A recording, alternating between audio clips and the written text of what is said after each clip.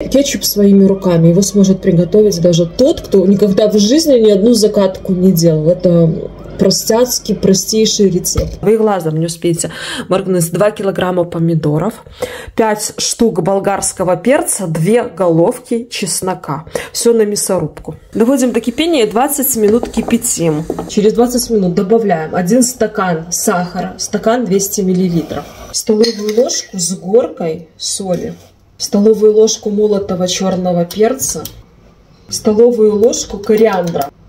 Перемешиваем и еще варим 20 минут. Беру немного из общей массы соуса и жду, пока он немного остынет. В этом соусе надо развести 4 столовые ложки крахмала. Выливаю в кастрюлю 100 мл уксуса, полстакана. Перемешиваем, 5 минут кипит и отключаем. Стерильную баночку.